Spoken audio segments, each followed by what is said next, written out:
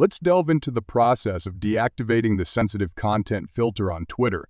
The sensitive content setting on Twitter acts as a filter, screening out material deemed sensitive, such as adult content, nudity, violence, and other graphic content. With this feature enabled, users are shielded from viewing sensitive content. However, if you wish to disable this filter, the process is quite straightforward. When attempting to locate the sensitive content option within the Twitter app on either an iPhone or Android device, you may find it surprisingly elusive. Even navigating to the privacy settings within the app won't yield any results. For reasons unknown, Twitter has not integrated this option into the app settings.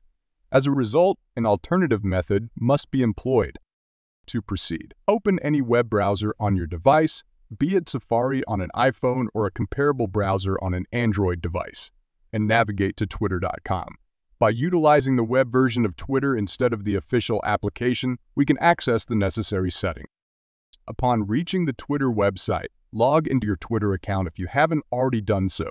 Once logged in, simply click on your profile picture located at the top left corner of the screen. From there, select the Settings and Privacy option.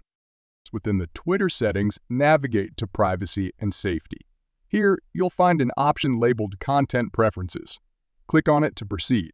Within the Content Preferences, locate the option titled Display Media that may contain sensitive content and ensure that it is checked. However, our task is not yet complete.